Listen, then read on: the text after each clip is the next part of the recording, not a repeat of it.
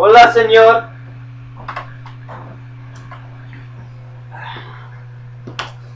Gotta get in there.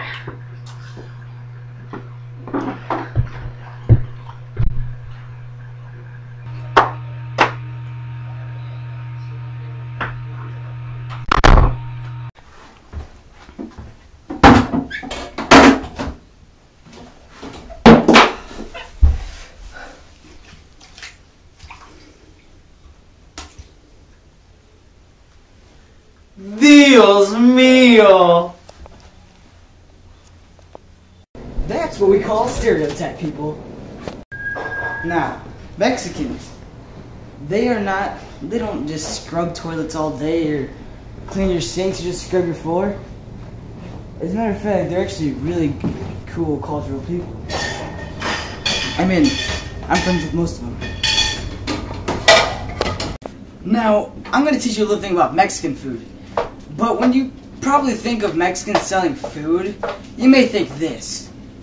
Hola, me llamo Antonio, and I work at El Burrito right down the street from your house. Ay, Antonio, ¿qué estás haciendo? ¡Ay, frijoles, mamá! That is incorrect. This is how they usually act. Hi, my name is Antonio, and one of the most famous dishes in Mexico are quesadillas. Quesadillas? Quesadillas! Oh, you mean quesadillas? Please do not say quesadilla. That's annoying. In Spanish, two L's put together in one word make the Y sound. So say quesadillas. So some of the ingredients you put in quesadillas is steak or carne, beans or frijoles, cheese or queso, or salsa or salsa. Did someone say salsa? Yes, we did. Take it away. Salsa is also a form of Latin dancing, one of my personal favorites.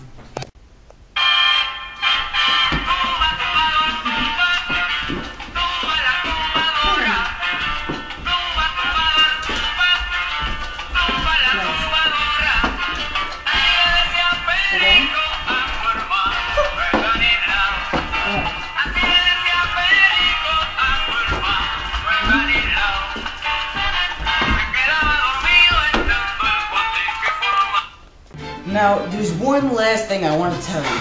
On people's birthdays, there's this thing called a piñata. Alright? Little kids whack it around with a stick. And we don't have that right now, so we're not going to show you. But you can possibly find it on eBay or something. But here's a photo.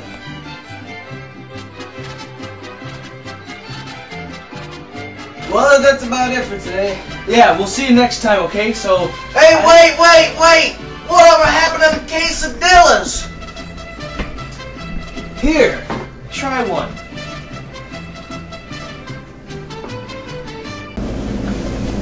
Quesadilla.